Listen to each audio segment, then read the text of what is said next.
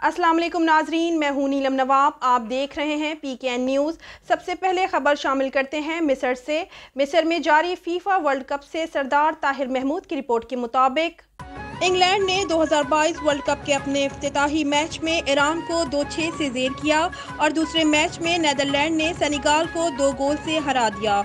England ने पहले half में बकाउ साका और रहीम स्टर्लिंग ने इंग्लैंड की बढ़तरी को बढ़ाने से कबल। जोर्ड बिलिंगम ने उमदा हेडर के ज़रिए गोल का आगाज़ किया। साका ने दूसरे हाफ़ में गैरिथ साउथगेट की जानब से चौथा गोल किया। इससे पहले के मेहंदी तरीमी ने ईरान की जानब से एक गोल वापस किया। मार्क्स राशफोर्ड और जे ग्रेलिश ने दूसरे हाफ़ के आखिर में गोल करके इंग्लैंड के लिए नतीजा में चमक पैदा की, जबकि तरीमी ने मौका से देर से तसली बख्श गोल करने का इंतज़ाम किया।